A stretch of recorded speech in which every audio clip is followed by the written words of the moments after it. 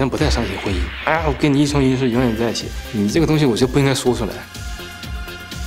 夫妻不是同林鸟入围了今年的 FIRST 电影节，反映我父母这个二次婚姻的片子。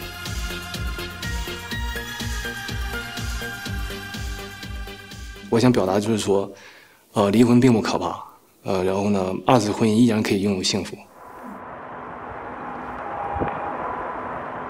来一个独家独家采访。一一共拍了七天，是今年的过年。然后那个苹果叉手机我自己用嘛，灯可能也花点钱呢，也就两三千块钱。实际上就是跟拍我父母他的一天的生活的流程，他们的兴趣爱好，就也拍他的访谈。最后人这个婚姻崩溃了，你也看到了，也不是因为我崩溃的。我是八九年出生在呃辽宁省丹东市，算是中产阶级家庭。然后他们的婚姻在我到我初中之前都很都很美满，就在我看来啊，我妈长得很漂亮，我爸当时在他那个小小镇里还算有有点小名气吧，就是又会跳舞啊，又会打拳击嘛，还没事还拍点片子那套，可能算是所谓的郎才女貌吧。他女朋友很多，他就他说他跟我说他有二十几个女朋友，就用那歌词说就很放荡不羁、爱自由这么一个人嘛。第一部分是九一年、九二年，就是按今天来看，它就是一个 vlog 家庭影像嘛。那个风格是好像是有点儿那种摇滚朋克风的。他喜欢史泰龙的时候，他就留那个发型了。我像我妈也是，主要喜欢香港那个明星，所以她打扮都很港范儿那种感觉嘛。那段时候可能是我童年中最印象最深也最幸福的时候，和我爸和我妈一起，每天晚上都去健身房去玩儿。我上初三的时候，突然有一天，他们俩就是说我爸说要开家庭会议，吵起来了。过了好像有一年，他俩就离婚了。那个十二岁的时候，那个法官问我，他说：“你是跟你父亲跟你母亲？”就这个事情，我还现在觉得很残忍，你知道吗？就是你对一个，你不能让我去做决定。当时法院把我判给判给我父亲，我母亲那时候真的，她可能她那种痛苦我想象不到。我很多年一直一直很恨我父亲。你想，他在我十四岁的时候，竟然买断工龄去跑南方去，所谓的创业啊！但实际上他跟他那个情妇就那小三儿嘛，跑那边去生活了五年，完了钱花光了。就是在电厂内部报了一个客车，哎，客车这个职业就改变了我的生活。我当时就认为和你妈就一辈子呗，是吧？等这个摆弄车以后，一看，哎呀，这这这市场这么大吗？人心就变了，就是再也不能回到从前了。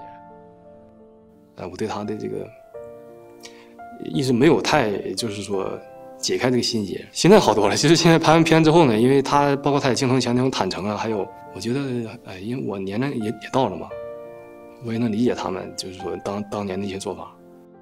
我我是觉得我太小了，可能遇到人家喜欢你了哈，哎，然后给你写点什么情书啦或者什么的，哎，你觉得挺好的。是吧？就这样式就是说的看了一些表面的东西。从那回来，他一直实际上处于这个无业状态，就是搞他的发明，什么马桶盖啊、往后倒立器啊。然后后来是就是能平躺睡到办公椅，上过一些什么发明秀什么节目，你知道吗？所以他就是个比较天马行空的人，很执念的人。他就老是钻牛角尖，就是。我这个东西就是全世界第一的。你王海霞，他是 跟我父亲通过我我亲友介绍认识的，有七八年了。我父亲可能也感觉自己可能没有年轻时候那种魅力了，就你再去撩妹，你撩不动了。王海霞可能他也到了这个结婚年龄，他们夫妻之间私下里挺比较轻松的氛围，他们性格还比较合，比较能聊得来。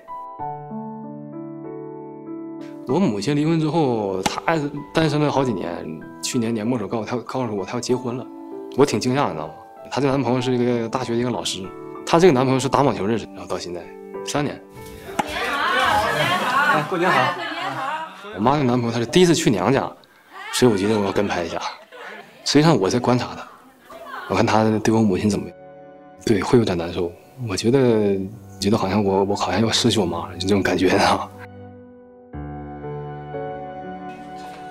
他们从来没见过面，但实际上对这个事情对他们伤害还是挺深的。然后我拍这个片呢，还有个目的就是想让他们了解对方的生活生活现状。